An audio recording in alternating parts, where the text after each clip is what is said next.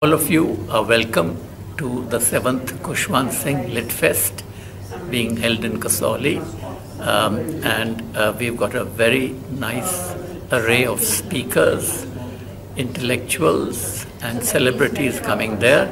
Uh, the theme is the rise of women uh, in an age of Me Too. Uh, so please come as many as you can. Entry is totally free and uh, I expect to get and welcome you in the Kasauli Club. Thank you very much.